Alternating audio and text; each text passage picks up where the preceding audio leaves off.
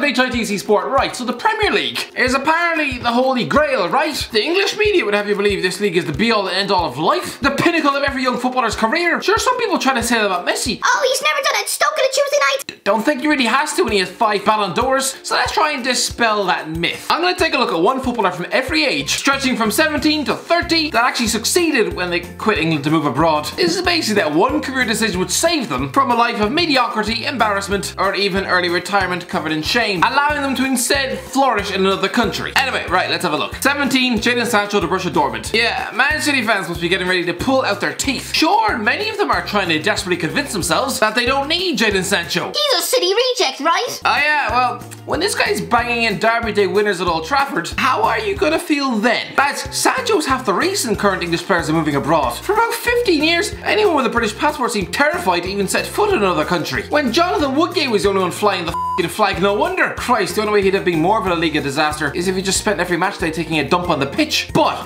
these days, having watched Sancho leave the City youth team as a 17 year old kid, signing for Borussia Dortmund for just £8 million, mere pennies, and in the space of three years, he's emerged as the most sought after young talent on the planet, scoring 20 goals a season in the Bundesliga, and now returning to Manchester as an established £80 million superstar. Had he stayed at the Etihad, he'd currently be starting less than five games a season, and would have about as much chance of an England call-up as Theo f***ing Walcott. 18, Rabbi Matondo to Schalke. Yeah lads, there's not many footballers who quit the Premier League at 18 years of age. I mean, Jude Bellingham's just left Birmingham for Dortmund in a 30 million pound deal, but He's 17 and that is the championship. But Christ above, Birmingham decided to retire the number 22 jersey? For what? For goals? Lad, you either retire a shirt for a club legend who spent 20 years at your club, or, and sorry to get bleak with this, he's just after dying. Bellingham has done neither of these things. He's just used you as a stepping stone to further his career. If anything, he's insulted your club. Christ above, it's like being left at the altar, and then the next day, deciding to get a tattoo of your ex-wife. A permanent reminder of sheer humiliation etched on your goddamn chest. Anyway, I'm gonna go for Rabbi Matondo here, who, like Sancho, decided to leave the Etihad bench for Germany. Actually, he wasn't even on the bench. Pep Guardiola probably didn't have a clue who he was. Well, he's a Scouse winger who plays for Wales and has since ripped up the Bundesliga. Not to the same extent Sancho has, but he's still been a bright spark for Schalke and is currently worth about 25 million pounds and also being linked with Man United. He's like the BTEC Sancho, but had he stayed at City, he'd probably be on loan at Blackburn Rovers, forever forgotten like Shaun Wright Phillips' son. Yes lads, Shaun Wright Phillips is an 18 year old son. He looks barely old enough to have even kissed a girl. 19 Paul Pogba to Juventus. Okay, let's be honest, Paul Pogba was on the right track when he quit Man United in 2012, having clearly been disgusted at a lack of game time. To be fair, Fergie picking a right back out of him in the field is such an insult, he might as well have spat in Pogba's face. Leaving his seat in the Old Trafford coat closet 18 months before the David Moyes reign of terror, it looked like a genius move. Off he goes to play every week in the heart of Juventus' midfield, hoover up four consecutive league titles, start a Champions League final against Barcelona, and break into France's starting 11 for the goddamn World Cup, where he'd win the Golden Boy Award. It's just that.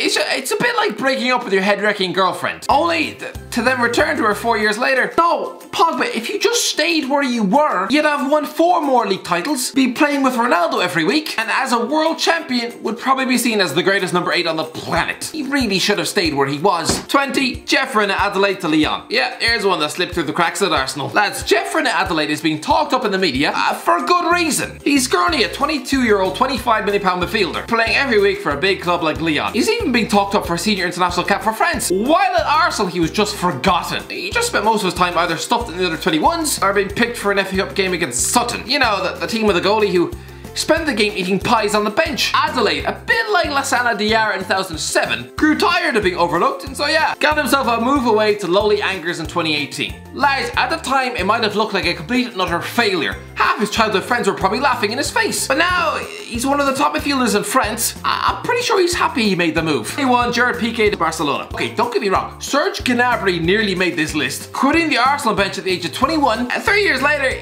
scoring four goals at Tottenham's new stadium. Back in 2015, he couldn't dislodge James McLean or Callum McManaman from the goddamn West Brom team. Now he has 13 goals and 13 German caps, and proving himself to be Arjen Robben's perfect replacement at Bayern Munich. But still, he doesn't keep out Gerard Piqué, who made one of the greatest decisions in world football. Sure, quitting the Champions of Europe just one week after lifting the Champions League with Man United, it was a slight gamble. But had he stayed in England, this guy, a ball-playing defender way before his time in English football, uh, he would have just spent the next five years of his life dumped on the bench before maybe striking up a partnership with Phil Jones in 2012. And as for marrying pop stars, if you're seen as a bang average Premier League substitute, As far as pop stars go, yeah, maybe a Little Mix member might take pity on you, but that's about it. Since leaving England in 2008, over 500 times for his boyhood Barcelona, been capped over 100 times, won 32 pieces of silverware, including the World Cup and three Champions Leagues. He couldn't get past either Nemanja Vidic or Rio Ferdinand, and now he's gone on to win more medals than the two of them combined. 22, Kevin De Bruyne Wolfsburg. I'm sorry, this is one of the greatest career moves in history. Listen, when Kevin De Bruyne was forced to abandon his Premier League dream at Chelsea back in January 2014, it must have seemed like a failure. But no,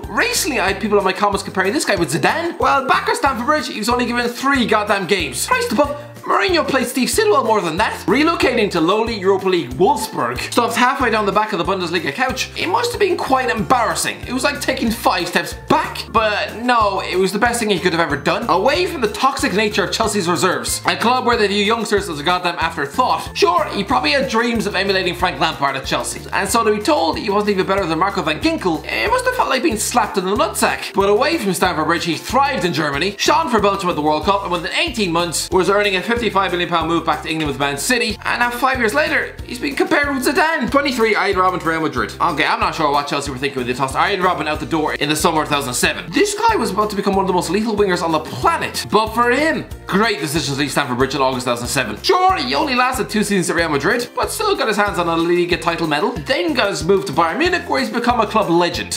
Chelsea, where they apparently rated Florent Malouda higher, he'd have spent his career in and out of the team, but in Germany, over 300 games, nearly 150 goals, 8 league titles, 5 Pokal Cups, 5 Super Cups, a Champions League and UEFA Super Cup. Not bad. 24, Gareth Bale to Real Madrid. Okay, I could have easily chosen Cristiano Ronaldo for this one. But let's be honest, a player that good, he would have probably been alright without the move to Spain. Probably still have ended up with 5 Ballon d'Ors. Gareth Bale though, back in 2013, had just finished 5th in the league with Spurs, wrapping up a world record £85 million move to Real Madrid. It bought him a legacy he had no divine right to ever have. A talented player, sure, but he'd only ever had one 20 goal season in his life. Four years earlier, he was seen as a cursed left back shoved on the Spurs bench. Had he gone to Man United in 2013 instead, he'd have gone on to have a career on par with Ashley Young. Actually, even worse, he'd have gone to his grave without a single league winners medal, an FA Cup, EFL Cup, and Europa League. That would be his legacy. Instead, he's won two La Liga titles, four Champions Leagues, scoring a bicycle kick in the final, playing alongside one of the best footballers to ever live, three Club World Cups, over 100 goals for the biggest club on the planet, playing in sunny Spain, earning 500 grand a week. What a career move move. 25, Diego Forlan to Villarreal. Yeah, here's another move which saved the guy's career. Christ, can you imagine if Diego Forlan had stayed at Old Trafford? Don't get it wrong, this guy was a Premier League joke. Man United's fourth choice striker, an unadulterated flop with just 10 league goals in 60 games. Had he stayed in England, he'd have spent the prime years of his career picking his belly button on the goddamn bench. Signing for Villarreal, August 2004, he immediately battered home 25 goals in his first season,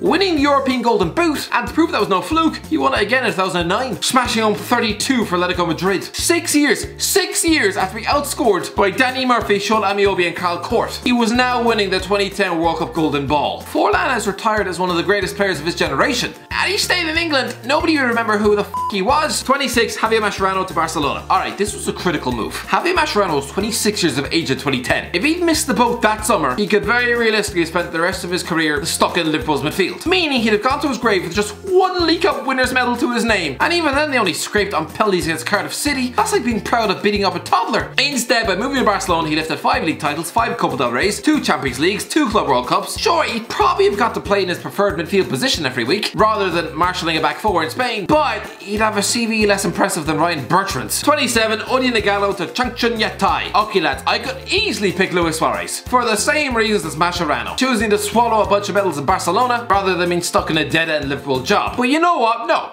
Instead, step forward Odion Ighalo. This fella's just had the most undeserved career progression the last three years of his life. I'm sorry, but rewind back to the 16-17 season with Watford. He scored one goal in 18 games, looks so far out of his depth with his confidence stuffed down the sink. Since quitting England and stepping into the piss-easy Chinese Super League, not only has he become a goal-scoring superstar, he was being paid over £200,000 a week. By rights, he should have been stuck on the bench at Bristol City. And somehow, after looking good against a bunch of Chinese plumbers, he's finally wound back in England with his boyhood club Man United. You think that would have happened had he continued to embarrass himself on a weekly basis at Vicarage Road? 28, Aaron Ramsey Juventus. Lads, what a career move. Like Gareth Bale, Aaron Ramsey was just a good player from Wales. The ceiling for his career could very well have been two decades of failing to win a title at Arsenal. This guy could have just been this generation's Ray Parlour, spending a lifetime in North London before winding down with Middlesbrough and Hull. And then within 15 years, we all forget who he is. But no, instead, this guy is flying the flag for Wales in Serie A. He's essentially taken Pogba's job, what he should be doing with his career. Hoovering up £400,000 a week, playing with Ronaldo every week, winning an almost guaranteed league title every year, the first league winner's medal of his career by the way. Let's not forget, before this move, the only medals to show for his 14 seasons of football were just two from the FA Cup. 29 Patrick Vieira to Juventus. Yeah, another midfielder swapping Arsenal for Juventus. Listen lads, Patrick Vieira got out of Highbury at exactly the right moment. It's telling that his last ever kick of the ball in an Arsenal shirt was to win the FA Cup in May 2005, the club's last piece of silverware for nearly a goddamn decade.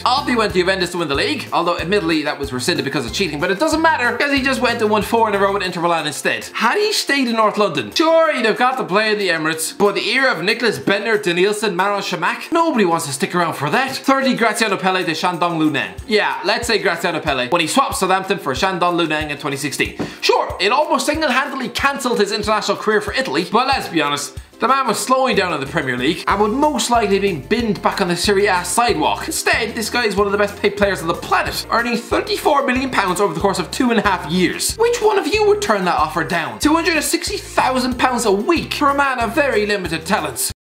Anyway, that's it, lads. Let me know in the comment section below. What players do you think have prospered since quitting England? Let me know in the comment section below. If you enjoyed the video, don't forget to like, share, and subscribe. And as always, I'll talk to you in a while.